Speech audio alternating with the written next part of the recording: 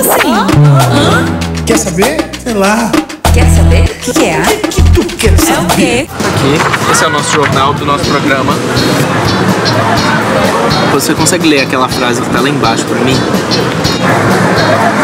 Você se considera um cidadão bem informado? Eu acredito que não.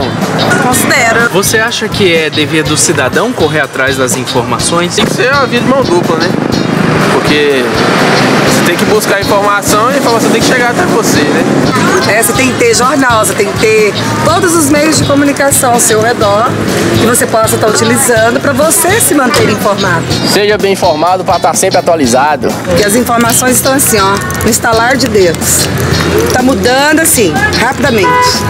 Nós estamos conversando aqui, muita coisa está acontecendo agora, nesse exato momento. Você tem que estar muito por dentro, né? Pra você saber, né? Porque senão você, você é manipulado pelos meios de comunicação. Ninguém pode se informar com só uma fonte de pesquisa, só um jornal, só um jornalista.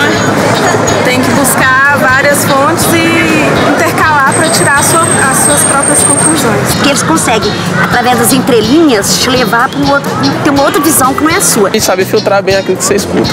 Qual que é a importância de um cidadão bem informado? Eu acho que a informação ela te dá possibilidades de você poder escolher, de você construir uma opinião. Quanto mais bem informado ele estiver, ele vai poder ter uma consciência política e cidadã maior. O direito à informação é um dos alicerces para a realização da democracia e construção de uma sociedade melhor. Busque meios de informação que atuem com ética e verdade.